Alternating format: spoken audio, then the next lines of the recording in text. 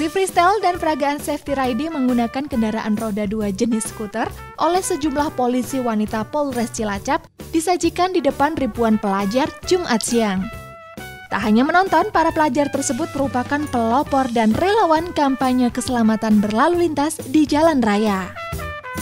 Ribuan pelajar yang dilantik menjadi relawan tertib lalu lintas ini merupakan upaya kepolisian dalam menurunkan angka korban kecelakaan yang melibatkan anak-anak berusia muda. Secara nasional sebanyak 80-90 korban meninggal dunia per hari akibat kecelakaan lalu lintas, di mana 40 persennya adalah anak muda. Ada, misalnya saya lebih bisa tahu bisa tahu ca cara berkendara lebih baik. Ya untuk keselamatan kita sendiri penting nggak?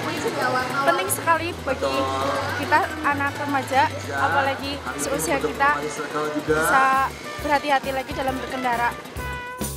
Selain tertib berlalu lintas untuk diri sendiri, para pelajar juga diminta untuk turut aktif berkampanye di lingkungan terdekat mereka, yakni keluarga dan lingkungan tempat tinggal mereka. Upaya ini menjadi penting mengingat keselamatan berkendara menjadi tanggung jawab seluruh pengguna jalan.